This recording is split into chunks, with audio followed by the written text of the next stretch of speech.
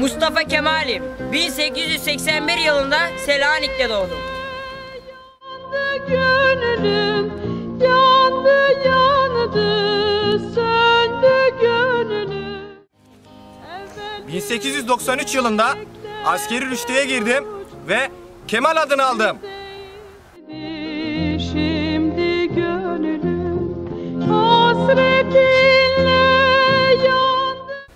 1895 yılında Selanik askeri rüştiyesini bitirdim.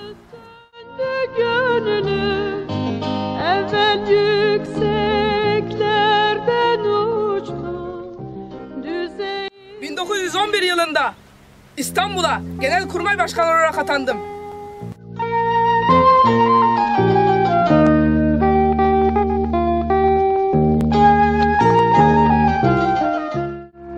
...1911 yılında binbaşılığa yükseldim. hasretinle yandı gönlüm yandı 1915 yılında Anafartalar Grup Komutanlığı'na atandım. Yükseklerden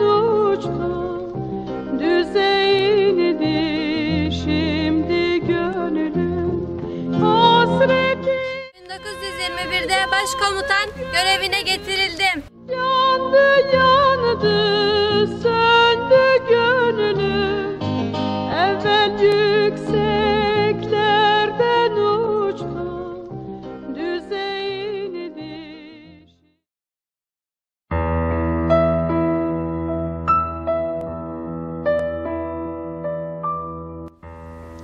1 Eylül 1922'de ordular ilk hedefiniz Akdeniz'dir. İleri emrini verdim.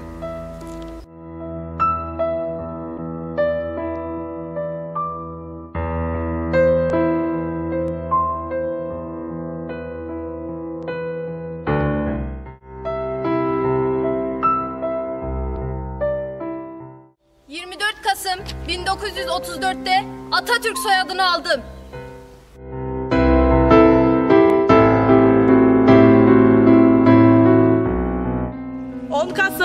1938 Perşembe günü saat 9'u 5 geçe hayata gözlerimi yumdum.